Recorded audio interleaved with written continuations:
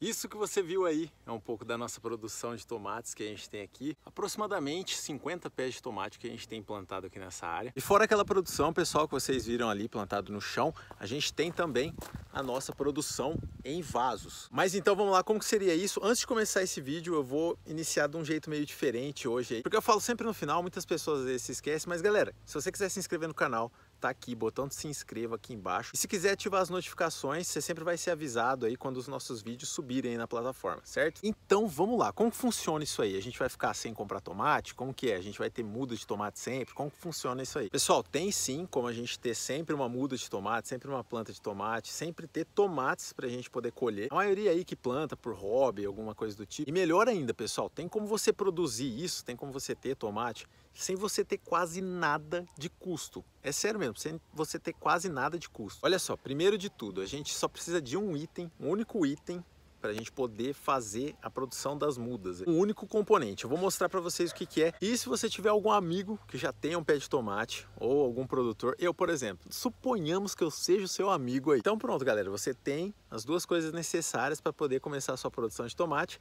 sem você gastar praticamente nada. Só que aí, vamos lá, tem um detalhe. Eu quero mostrar para vocês, primeiro de tudo, como que a gente é, consegue essa muda do pé de tomate, que é uma, uma das coisas que a gente já tem que fazer no processo de produção do tomate, a gente já tem que fazer um procedimento nele, que é para aumentar a produtividade, que é para você ter mais frutos e sua colheita ser maior. Então, para vocês entenderem aqui, a gente tem que fazer uma poda no tomate? Sim, a gente tem que fazer uma poda. Na verdade, é um processo que a gente chama aí de desbrota ou desolha popularmente, o pessoal fala, né? e é a retirada de alguns brotos que eu vou mostrar aqui para vocês quais são. Isso aí melhora a produtividade da nossa colheita. Isso, galera, seja o cultivo no chão, como eu estou mostrando aqui agora, ou até o cultivo em vaso também. E uma das coisas que eu quero passar para vocês é o seguinte, a gente aqui é produtor, é a primeira vez que a gente está cultivando tomate. Então o que, que aconteceu? Para quem é mais familiarizado aí com o assunto, a gente não fez o processo de desbrota nesses tomates. Isso é um procedimento importante nos tomateiros, por quê? Porque isso aí vai comprometer se você fizer ou não fizer, vai comprometer a produtividade dos seus tomateiros, vai comprometer sua produção, você vai ter uma diminuição na produção. Eu comecei a fazer essa desbrota, mas foi tardiamente, na verdade, porque era para eu ter feito antes esse processo. Porém, são coisas que a gente vai aprendendo aí durante o cultivo. E agora eu vou até terminar de fazer essa desbrota, vou tentar fazer mesmo com, com os pés de tomate já soltando frutos aí, eu vou tentar fazer essa desbrota. Mas vamos lá que eu vou arrancar aqui os, os brotos aí para mostrar para vocês para fazer esse vídeo aqui. Eu vou pegar esse pezão de tomate aqui para mostrar para vocês.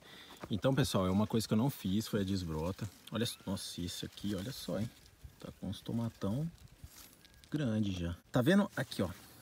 Esse esse galinho aqui, ó. Deixa eu puxar ele aqui só para vocês verem. Ó, vou tentar aproximar. Tá vendo? Esse, esse galinho que tá saindo aqui nessa, nessa axila, né? Da, da, da rama principal aqui do, do pé de tomate, que vem ali de baixo. Esses galinhos que forem saindo assim, a gente tem que, ó, com o dedo mesmo, puxar e arrancar. Tem que retirar eles. Aí você vai perguntar, mas por que, que a gente tem que fazer esse processo aí, Henrique? Esse galho que estava aqui, nascendo nessa axila, a gente chama de broto ladrão, de chupão, né? Muitas pessoas chamam aí, popularmente falando. E aqui, ó, tem até a marca, vamos ver se eu consigo aproximar, tem até a marca de, uma, de um broto ladrão também que eu fui arrancando. Aqui tá nascendo até mais um, ó. Esses pequenininho mesmo assim que você achar, você pode arrancar. E isso acontece porque, se não, ele vai puxar energia para ele se desenvolver. E isso vai atrapalhar de chegar aqui, ó, no cacho, para formação do cacho. Então a gente tem que fazer a retirada desses brotos ladrões aí, que a gente chama, para questão de, de puxar energia aí, de consumir essa energia que seria emitida pro cacho. Então a gente tem que fazer. Isso seria a poda, né? A desbrota, a desolha que a gente chama aí. Você vai me perguntar, tá bom, tá legal, você tá falando disso tudo, mas e tá, e como que. E que, que isso tem a ver com a produção de mudas que a gente está querendo fazer. Ó, achei um pezão perfeito e é aí que vem o tchenhen da questão, né, que a gente está falando. Ó, isso aqui Deixa eu aproximar para mostrar para vocês. Vamos ver se eu consigo mostrar. Aqui, nessa axila aqui, ó, tá saindo esse broto ladrão que tá enorme. Então a gente vai arrancar ele, ó. Opa, e laiá. Tá cheio de folha aqui esse trem. Mas a gente vai arrancar ele, ó, daqui. Você vai arrancar com o dedo mesmo, pessoal. Se às vezes você tiver com receio, pode pegar uma faca para cortar. É só torcer ele aqui pra gente arrancar. Beleza, olha só, arrancando. Ele tá iniciando até a emissão de cachos aqui, ó.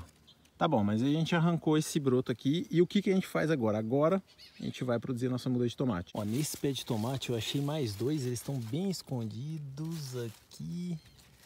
E ó, tem esse outro aqui também. Aqui, ó. Esse aqui a gente vai arrancar também, ó. Vamos lá, só puxar. Pronto. Pequeno ainda assim, acaba pegando também. Aqui dentro eu vou puxar ele aqui. Que tá difícil eu gravar só com uma mão aqui, pessoal. Mas ó. Mas a gente conseguiu puxar. Então, mais um aqui. Então, mas esses dois aqui ó, a gente vai usar também e pronto. O que a gente vai fazer agora? A gente pegou, a gente selecionou esses brotos aí, retirou, fez a desbrota. O que, que vem a seguir? Então aqui ó, tá o meu recipiente com água e aqui as mudas que a gente retirou. Ó, galera, só colocar na água. Quantos dias a gente vai ter essas mudas novas aí? Com, com, em quantos dias vai aparecer as primeiras raízes? Pessoal, olha isso aqui. Seis dias aproximadamente, seis a sete dias você já vai ter, ó, os seus galhos de tomate com raízes. Olha só, que perfeição isso aqui. E é só a gente replantar a gente colocar no vaso, se você tem um plantio em vaso, né, quer plantar em vaso, não tem espaço no chão, mas aconselhável, né, que eu falaria para vocês é a gente replantar num vaso, preparar esse vaso com terra e esterco, esterco de gado já está de bom tamanho para a gente fazer o replantio dessas estacas e desenvolver esse tomate. Você vai até acelerar o processo para colher esses frutos, porque na verdade você já vai estar tá com as mudas maiores aqui do que a gente pegar e fazer por semente ou pegar uma muda menor e às vezes colocar num vaso ou também colocar diretamente no chão. A gente vai acelerar porque essas mudas já estão maiores, olha só. Então galera, ó, seis dias já começa a emissão de raiz. Olha só que maravilha isso aqui. Durante o processo de formação das raízes aí, se você tiver condição de, de deixar, de fazer a troca, aliás, desse, dessa água, desse pote, dia sim, dia não, pelo menos, é um ponto-chave aí para você conseguir desenvolver essas raízes né, na muda. Então, galera, bem simples, faça a troca aí dia sim, dia não. Se você conseguir fazer todo dia, melhor ainda, você pode trocar água todo dia. E na hora de ambientar esse pote aqui, se você tiver um lugar sombreado, é o ideal. É, meia sombra, né, a gente fala aí, que tenha bastante claridade.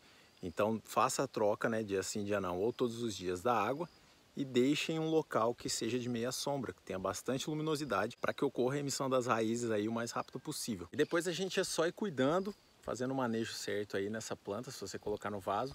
Se depois você também quiser colocar no vaso no começo, num vaso pequeno e depois passar para o chão também, se você tiver espaço, é melhor, você pode fazer isso. Senão você vai cultivar no vaso, mas ó, do mesmo jeito a gente vai colher tomates aqui e depois a gente pode ficar fazendo essa produção sempre que você quiser você vai ter disponível aí tomates para você colher e depois desfrutar do seu próprio cultivo. E é isso, acabou. Assim como o vídeo de hoje também acabou. Se você não é inscrito no canal, aproveita aí, galera, se inscreve, assina, assina não, ativa o sininho aí para você ser notificado dos novos vídeos que virão por aí, que a gente está produzindo muito conteúdo.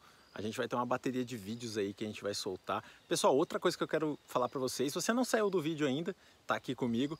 Então, a gente tem o nosso clube de membros, você quiser fazer parte do nosso clube de membros para ajudar o canal, então tem vários planos aqui que a gente colocou.